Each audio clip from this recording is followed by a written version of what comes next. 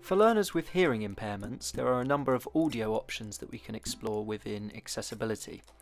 So we open it up in the same way and scroll down the list until we get to hearing and then audio.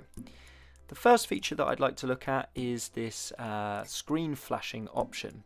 Essentially, if we enable this, then the screen will flash any time that a notification or some sort of alert flashes across the screen.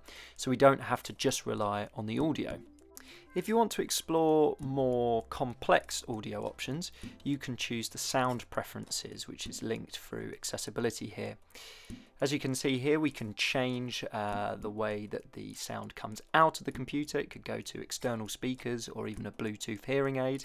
And we can also choose where we want the sound to come out, fully left or fully right, for any children that are hard of hearing in one ear.